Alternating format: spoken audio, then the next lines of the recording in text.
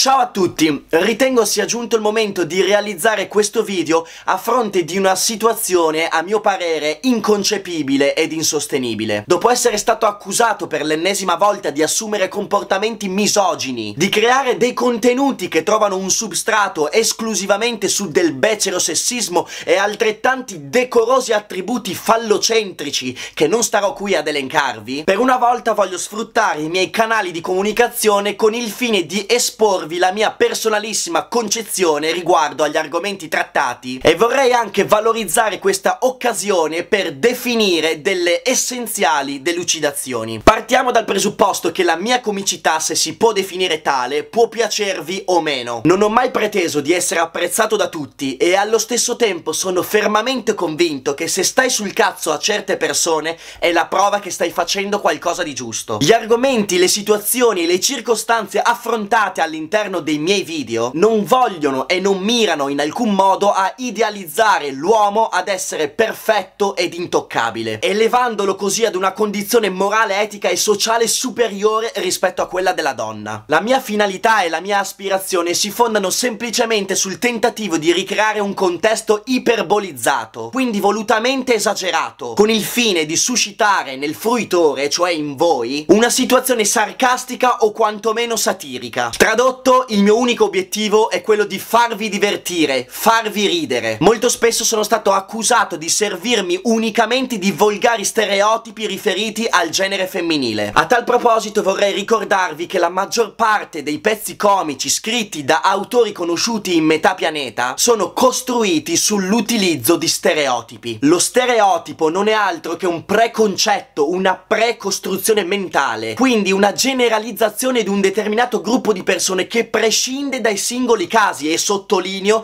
prescinde dai singoli casi. Non deve essere in alcun modo interpretato come una critica negativa e non è minimamente paragonabile ad un pregiudizio razziale o sociale. Se io affermo alle donne non va mai bene nulla, le donne sono sempre indecise, il genere femminile guarda programmi come uomini e donne, sono perfettamente consapevole che esistono dei casi isolati che non adottano questa attività tipologia di comportamento. Ma per fare, per creare del sarcasmo, non posso fare riferimento a queste singole situazioni. Se a te piace la pasta con le acciughe e l'anguria, perché dovrei realizzare un video in cui asserisco che alle donne piace la pasta con le acciughe e l'anguria? Se a conti fatti piace esclusivamente a te? Io cerco semplicemente di trovare delle specifiche situazioni nelle quali si possano riconoscere più persone possibili. Poi non è detto che quella sia sia la tua reale rappresentazione. Non concepisco il senso di esacerbarsi in questo modo se contemporaneamente voi ammettete di non essere tali. È come se io mi arrabbiassi dopo essere stato definito omosessuale di merda. Punto 1, non lo sono. Punto 2, anche se lo fossi, non sarebbe un problema. È come se ogni singolo italiano si dovesse arrabbiare dopo essere stato definito da ogni singolo tedesco pizza, pasta e mandolino. È come se ogni uomo si dovesse arrabbiare dopo essere stato accusato pensato di saper fare una sola cosa alla volta. Non è vero! Noi uomini sappiamo respirare, pensare e cagare contemporaneamente.